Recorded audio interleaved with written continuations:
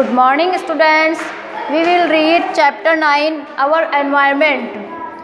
Environment means हमारे जो चारों तरफ़ का जो वातावरण होता है, जैसे हवा, पानी मौसम, ये सबसे मिलके हमारा जो चारों तरफ़ का वातावरण बनता है, उसे हम कहते हैं environment everything that surrounds us natural और अननेचुरल फॉर्म्स आवर एनवायरनमेंट हमारे चारों तरफ़ जितनी भी नेचुरल और अननेचुरल जो थिंग्स होती है, वो सब एनवायरनमेंट में आती है।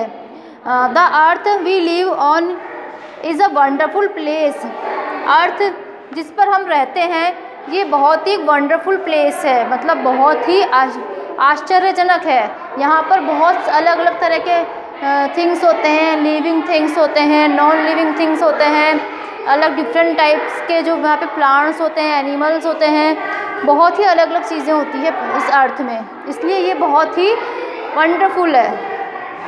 It has so many kind of living things like plants animals insects birds fish and human beings यहाँ पर अलग अलग तरह के लिविंग थिंग्स होती है, जैसे प्लांट्स एनिमल्स जो लिविंग थिंग्स होती है लिविंग लिविंग थिंग्स इसमें है प्लांट्स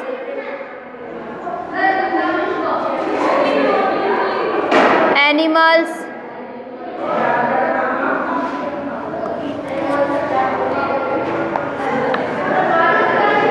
और जो नॉन लिविंग थिंग्स होती है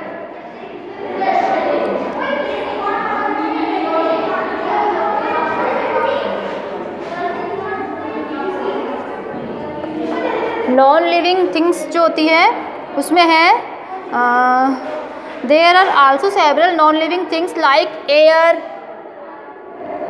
water soil this call living things and this call non living things that is means plants and animals plants और एनिमल्स ह्यूमंस ये सब जो है वो सजीव होते हैं मतलब जो सांस लेते हैं और छोड़ते हैं। इसके अलावा जो नॉन लिविंग थिंग्स वो होते हैं, जो निर्जीव होते हैं, जैसे हवा, पानी, मिट्टी, ये ना सांस लेते हैं, ना छोड़ते हैं। तो ये नॉन लिविंग थिंग्स होते हैं। फ़ूड चेन अब आता है food chain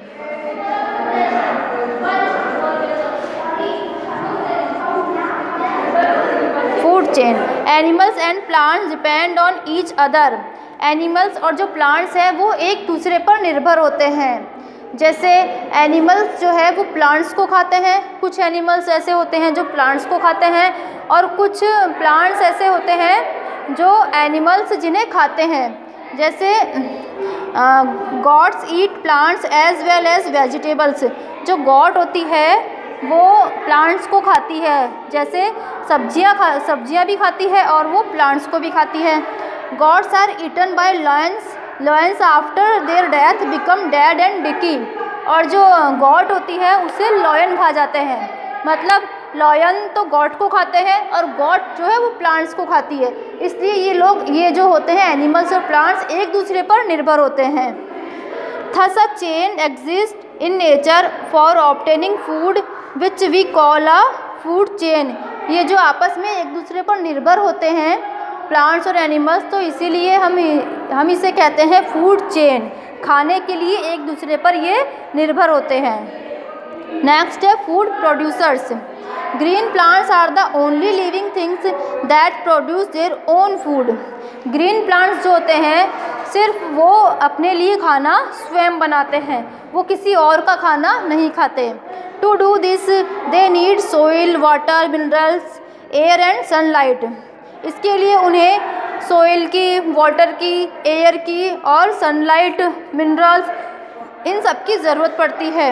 All other living things use the food made by plants directly और इनडायरेक्टली ये जो अदर लिविंग थिंग्स जो होती है all other living things use the food made by plants जो दूसरे जो होते हैं, वो डायरेक्टली डायरेक्टली वो जो प्लांट्स जो भोजन बनाते हैं, उसे डायरेक्टली और इनडायरेक्टली खाते हैं। What will happen if a link in a food chain is broken क्या होगा अगर ये जो फ़ूड चेन है, वो टूट जाएगी?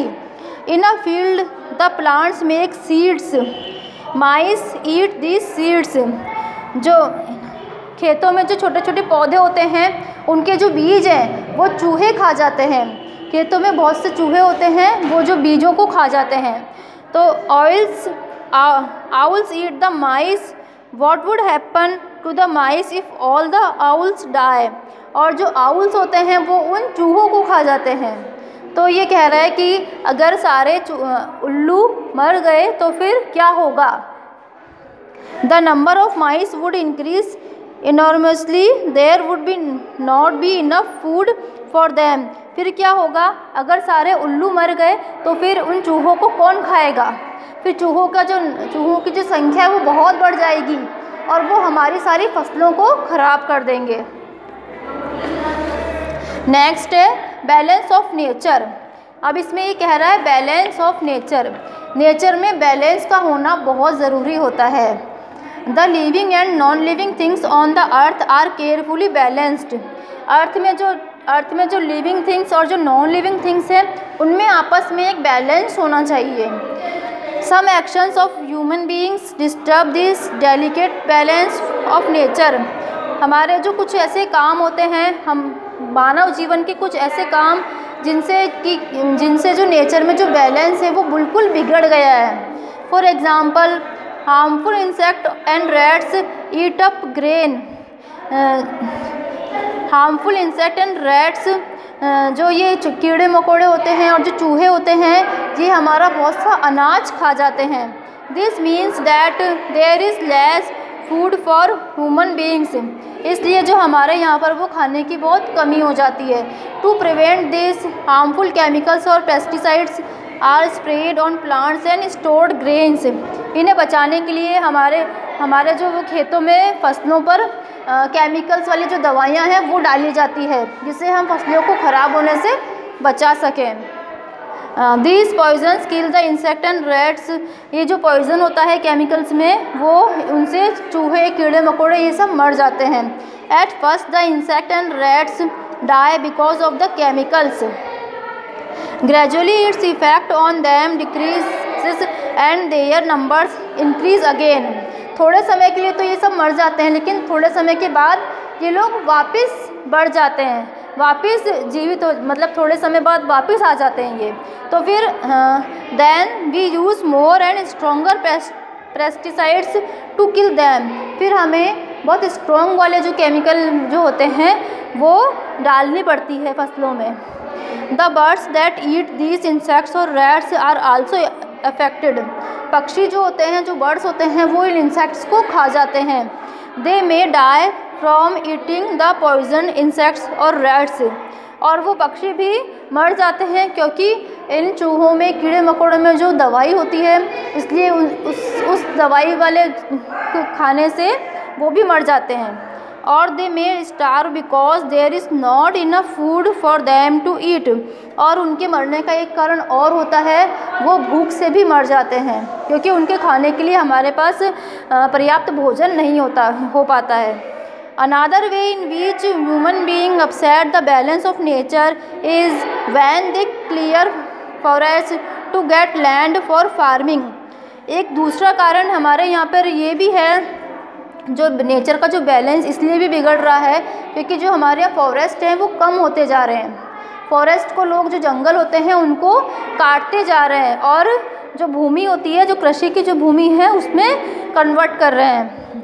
Many kinds of plants animals birds and insects that live in the forest die जंगलों में बहुत सारे जानवर रहते हैं अलग अलग तरह के डिफरेंट टाइप्स के जो प्लांट्स होते हैं एनिमल्स होते हैं बर्ड्स होते हैं, वो सब जंगलों में रहते हैं। और जब जंगलों को काट देंगे तो फिर वो लोग कहाँ रहेंगे?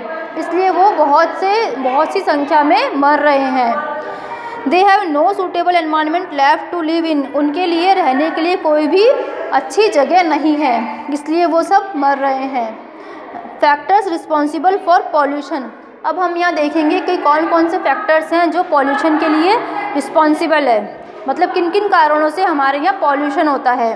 Over the years human activities have made several harmful changes to the environment बहुत सालों से हमारे यहाँ पे कुछ ऐसी एक्टिविटीज़ होती हैं जिनसे हमारे जो एनवायरनमेंट में वो पॉल्यूशन बढ़ता ही जा रहा है। Many of this actions pollute the air and water which are so essential for living things इन कारणों में, इन कार, ऐसे कारणों से हमारा जो पानी है, हवा एयर और वाटर ये सब जो हैं, बिल्कुल पॉल्यूट होते जा रहे हैं और जो कि हमारे जीवन के लिए बहुत ज़रूरी है। एयर और वाटर दोनों ही हमारे लिए बहुत ज़रूरी है। In your class talk about how the following cause pollution अब हम इन इन जो कारणों हैं पॉल्यूशन के जो कारण, उनके बारे में डिस्कस करेंगे। Smoke from the chimneys of factories आजकल जो फैक्ट्रीज़ होती हैं, इतनी ज़्यादा फैक्ट्रीज़ होती हैं और उनमें जो चिमनियों से धुआँ निकलता है। उससे एयर पॉल्यूशन बहुत ज़्यादा होता है। Smoking buses and lorries running on diesel बसों से निकलने वाला धुआँ है और जो लॉरीज जो गाड़ियाँ होती हैं, उनमें जो डीज़ल होता है, उससे जो पॉल्यूशन होता है तो इन सबसे एयर जो है बिल्कुल पोल्यूट हो जाती है। Leaking pipes carrying household wastes sewage और जो घरों में जो पाइप्स लगे हुए होते हैं जो वेस्टेज वाले पाइप्स जो होते हैं, उनमें लीकेज अगर हो जाता है तो उससे भी पॉल्यूशन बढ़ जाता है। Large quantities of plastic bags littering in open spaces इसके अलावा हम जो प्लास्टिक के जो बैग्स होते हैं, उसे ओपन प्लेस में फेंक देते हैं। उनसे भी उनसे भी जो पॉल्यूशन जो होता है एनवायरमेंट में बहुत बढ़ जाता है। नेक्स्ट है waste water from chemical factories being poured into rivers हम जो गंदा पानी होता है, उसे हम नदियों में नदियों में चला जाता है। घरों से निकलने वाला गंदा पानी जो होता है, जो पानी रोड पे होता है जो पानी जो खेतों में, इनमें गंदा पानी जो होता है, वो सारा पानी नदियों में चला जाता है और इससे हमारा जो वाटर है, वो पूरा पोल्यूट हो जाता है। वाटर पोल्यूशन होता है। Some forms of life are gone for ever और इन पॉल्यूशन के कारण हमारे यहाँ पे बहुत सी जो जातियाँ हैं, वो बिल्कुल ख़त्म हो गई। They have become extinct and can not be brought back और वो अब बिल्कुल ख़त्म हो गई और अब वापस नहीं आएगी। You would have read about attempt to protect the peacock the deer and the lion so that they to do not become extinct हमने पिकॉक, डियर और लॉयन, इन सबको देखा है, इन सब के बारे में सुना है। हमें उन्हें बचाने की पूरी कोशिश करनी चाहिए, क्योंकि अगर ये जातियाँ भी अगर हमारे यहाँ ख़त्म हो गई तो फिर ये वापस नहीं आएगी। इफ़ वी लुक आफ्टर और conserve what is left we may be able to stop further damage अगर हम इनकी देख रेख करेंगे, अगर हम इनका पूरा पॉल्यूशन का पूरा ध्यान रखेंगे तो हम इन्हें नष्ट होने से बचा सकते हैं। We must reduce the quantity of materials that we use for example every piece of paper that we save will mean that fewer trees are cut down to make paper हमें किसी भी, हमें मटेरियल को बहुत ही ध्यान से use करना चाहिए। हमें किसी भी चीज़ को वेस्ट नहीं करना चाहिए। जैसे जो पेपर हम यूज़ करते हैं, वो पेपर भी हमें कहाँ से मिलता है? ट्रीज़ से। तो हम जितने ट्रीज़ काटेंगे, उतना ही हमारा जो पोल्यूशन है वो बढ़ता जाएगा। क्योंकि ट्रीज़ का होना हमारे एनवायरनमेंट के लिए बहुत ज़रूरी होता है। इसलिए हमें एक एक पेपर को बचाना चाहिए। जिससे कि हमारा जो पेड़ है, वो कम कटे और हमारा जो पोल्यूशन है, वो कम हो। Cut down to make paper some materials like paper glass and metal can be reuse and recycled कुछ जो मटेरियल होते हैं लाइक पेपर हुआ ग्लास हुआ मेटल हुआ, इन सबको रिसाइकल हम कर सकते हैं।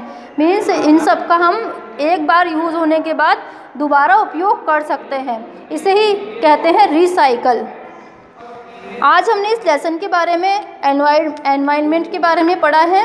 अब आप सब लोग इस इस लेसन का वीडियो अच्छे से समझें और इस लेसन को अच्छे से रीड करें।